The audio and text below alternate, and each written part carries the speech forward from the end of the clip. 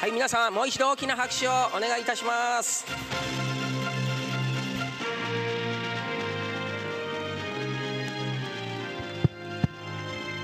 はいそれでは見事 A 級優勝いたしました近藤夏樹選手にお話を伺います。えー近藤選手優勝おめでとうございます。ありがとうございます。はい、えー連日かましてまくって強い勝ち上がりでしたが調子はいかがでしたでしょうか？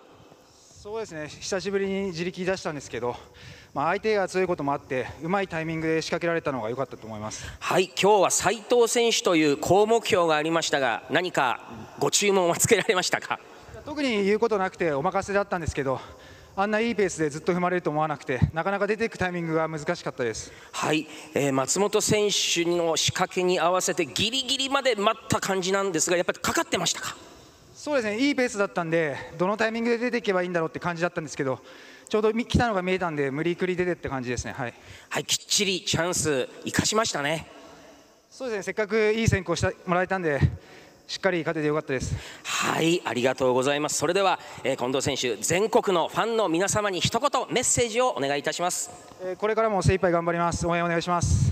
はい A 級優勝いたしました。近藤夏樹選手にお話を伺いました、え近藤選手の退場でございます。皆様もう一度大きな拍手をお願いいたします。はい近藤選手お願いいたします。